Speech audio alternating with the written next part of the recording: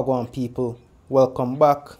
It don't know it's your boy Kamani Brown, back with another video and today we're going to be speaking about the DualSense Edge and my experience coming up to a year. Now I've had this thing since around about a couple weeks from launch and this thing has proven itself to be a extremely indispensable part of my arsenal in my gaming life. In this video, I'm actually going to be speaking about how it's been for me over the past 10 or so months leading up to a year. I've already done a full deep dive on this controller right around launch.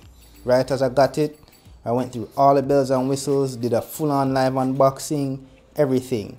But I'll give a little overview and let you guys know of my experience over the majority of this year and let you guys know if this piece of plastic is worth that $200 price tag. Now, that's a little brief overview of what you get. Of course, you guys saw the hard shell case here. This is the surprising star of the show. It's very premium feeling, tough, like a turtle shell. Kept this thing protected and clean every time I finished using it. I dropped it in there, close it down, good to go. I even charge it via this flap here all the time. Love this hard shell case. Very, very, very nice addition to the whole set. Of course, here's the controller itself. You get two of the default sticks pre-installed, two short dome-shaped sticks, and two tall dome-shaped sticks as well. From beginning, I don't know why there wasn't more of a variety. I mean, to tell the truth, these are actually my favorite. Not just the height, but the shape. It actually grips my finger more in my honest and humble opinion. Get this as well, the cable lock for when you're in intense gameplays like your Call of Duty, Apex Legends, your Tekken, your Street Fighter. You know what I'm talking about, peeps? And you want the highest level of accuracy and the lowest amount of latency. You want to go hardwired, plug it in directly into the console and you lock it in place just like this using the included braided cable that you actually get in the whole package. Here it is with the renowned playstation logo. You stick it in you follow the logo here snap it shut and you stick it right into the controller itself and then you just lock it. And there you go. It will not come out and of course discharging because I have this cable plugged into the wall actually. This is actually how I rock it when the battery dies. Guys I've literally had to put away my old controllers because this has become my default controller. I cannot do without it. More on that later towards the end of this video. Now, pretty much the last part of this package are the extra back buttons. Now, these are what I call the default set. These are already pre-installed and these are actually my favorites. More on that later. But this is the other set that comes. It's more of a paddle kind of design. This is how easy these are to remove simply pull it out and drop the next one in just like that. It's held in magnetically so they can easily be removed and dropped back in just like that right? These have to be pulled while these are pressed. Now these require more intention and more thought. These I actually just need to grip the controller and I press it. So yeah this is instinctual for me and I prefer this one and that's about it. That's pretty much all I get in the box. The braided cable, the shell itself, the extra sticks, the cable lock, and the back buttons. And of course, the controller herself. That's about it. Simple package. But all of these items are actually pretty premium and will last a surprisingly long time. None of them have shown any signs of wear and tear since I got this thing almost a year ago. Now getting back to the controller herself, right? Now compared to the OG right here. I did a full-on detailed description of the differences between the two of them in my previous video that i did upon launch. But just to show you guys a side-by-side -side comparison just the same. They're more or less the same with subtle differences. Of course one of the main differences is how the black and white is treated in the design itself the actual visual appearance of it. You have the square triangle x and o texture in the touchpad itself. This is just bare smooth and white you have this pin strap that goes around to the back of the controller. You have the extra back buttons, of course. This is the release button to release this front plate here. To get to these, which are, surprise, surprise, removable joysticks. So you simply lift this up and you can remove it. Simple as that. These cost about 20 bucks as a default retail price from Sony themselves. You can find them on Amazon as well, eBay, and most major online retailers. So this is very good. So all of you who may be worried about stick drift, Sony has it covered with this controller and this pretty much makes it worth its weight in gold as an investment. Now, I have never had this issue yet, where it's ugly head. I mean, I take care of my things, and yeah, even though I'm a hardcore gamer, I do treat my peripherals with respect. Console drift has never really affected me before. I think maybe once on in the PS3 days, but not so much since. I haven't noticed it, and definitely not since owning this controller for almost a year. Now, getting back to the other differences. Now, of course, you have the trigger stops, which actually shorten the travel distance for the triggers themselves.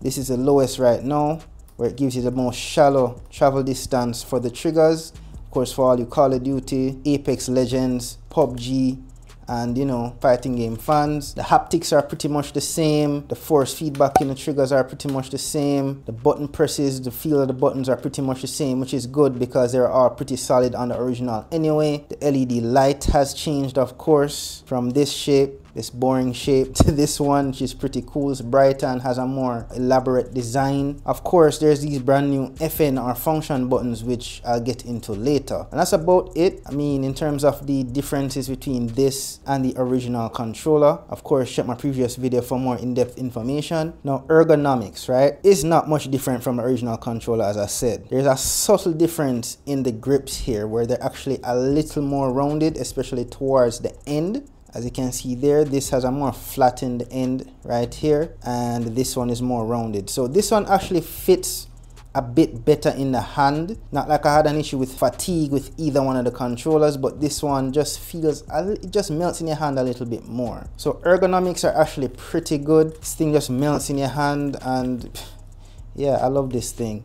Now if you guys can hear a little creaking coming from the button this is my gun trigger finger so and if a little wear and tear has happened in this thing who knows but it works perfectly fine just the same now getting to durability as you guys may have guessed aside from this slight creaking noise in the trigger which still works I've had absolutely no issues with reliability. This thing has held up well. Aside from some gunk getting in the crevices here as you might see, there isn't much to write home about. It has gotten dirty a couple of times. There's a little dirt here, but nothing that a little alcohol and some wipes or cleaning cloth can't fix. Held up pretty well. Nothing else giving problem, just a little creaking here, but that's about it people. I mean, what can I say? Sony products, usually they go the distance. So that was just touching on durability for a bit. Now battery life i will admit the battery life is a little less than this a little less if you think about it or go looking for it. But more or less in my regular gameplay sessions the mileage is pretty much the same. On paper it is a little less but really and truly i get about five maybe six hours with this with the full haptics turned on the light here turned on and you know just having a good time. It has never disappointed me yet and the long braided cable that they give me actually comes in clutch a lot of the times and it gives me that warning sign of low battery. I just simply plug it in and I'm good to go.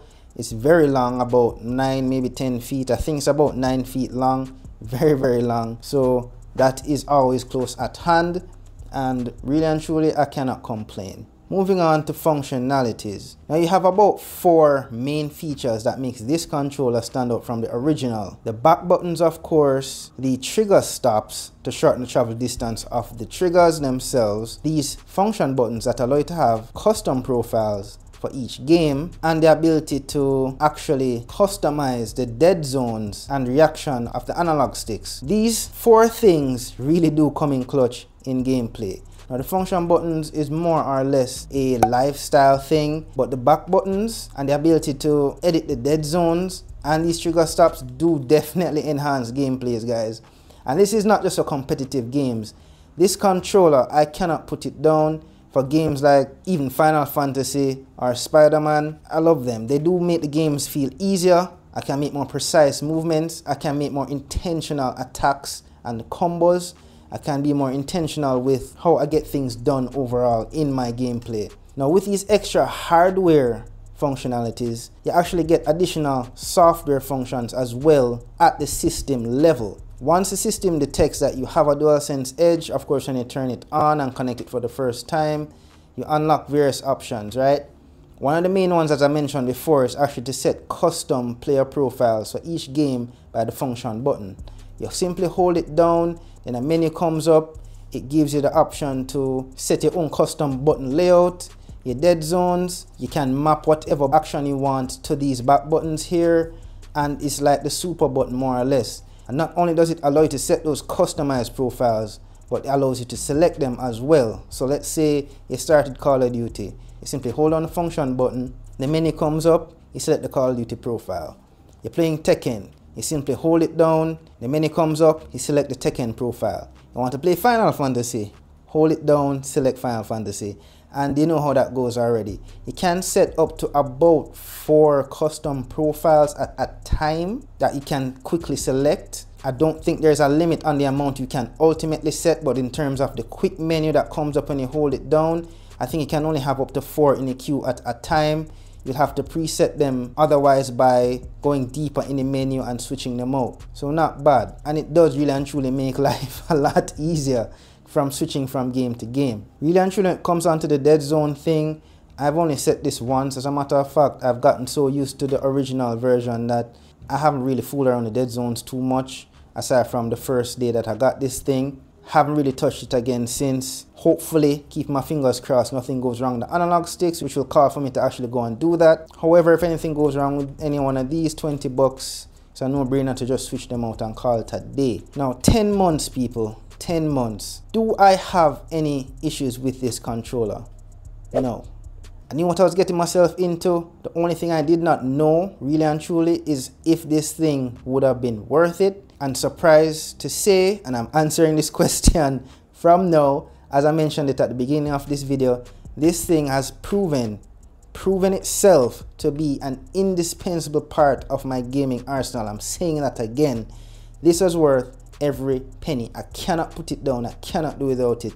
These actually collect dust now. I have to be putting them in a storage container so that they don't gather too much dust and of course charge them from time to time so that the batteries don't give out but yeah, that's how much I can't do without this thing. I'll even go as far as to say one of the reasons why I was actually turned off from that brand new PlayStation Portal is because it does not have these things. The back buttons or the trigger stops. Going back to these feels like a step back for me. I can't do it people. This is home to me now. I can't do without it. And for that very reason alone, this thing is worth it to me. Your mileage may vary, and now I get to the ultimate question is this worth it? Yes, with a big asterisk. It depends on the type of gamer you are and the type of games that you play. If you are a competitive gamer, you will definitely gain a edge in your gameplay. From the extra back buttons here, the trigger stops if you're playing shooters, even fighting games or even racing games. These trigger stops really and truly do enhance your reaction time. These back buttons here allow you to spend less time taking your hands off the face buttons here and keep yourself in action. You'll definitely have an advantage over the other players online. And of course, other quality of life options such as these function buttons which allow the custom button layouts and the custom player profiles, the ability to edit the dead zones and all of that really do enhance the need for this controller right? So it depends on the type of player that you are, the type of games you play. But with the features that this thing has, there's a little bit of everything for pretty much every player. Like I said, Call of Duty, Apex, Tekken, Street Fighter, Final Fantasy, Spider-Man, Crash Bandicoot, you name it, I found a use for these things. And just for the back buttons alone, I cannot do without this thing.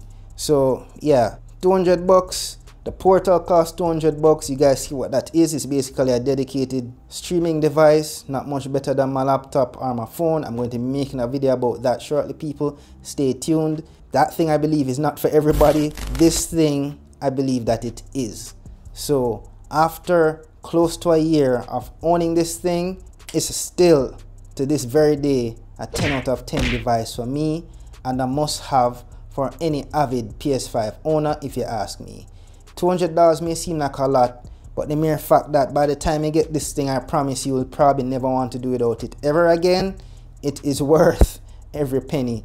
It will prove itself a worthy investment over time. Whether it's for competitive play or simply just for having fun because it does make gameplay a lot more enjoyable and a lot less frustrating as well. That's it people. I mean, thanks for tuning in.